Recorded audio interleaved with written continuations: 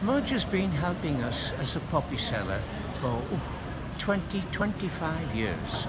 And if there's one individual who has collected more for the poppy appeal, I've yet to meet him. He's well, he earns well over a thousand, twelve hundred pounds every single year.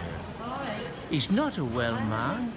Um, he has difficulty in communication as a result of his service, and um, he's just a tower of strength, an example for the rest of us to do our very best to support the Legion in looking after the caring and the needy that we, we serve.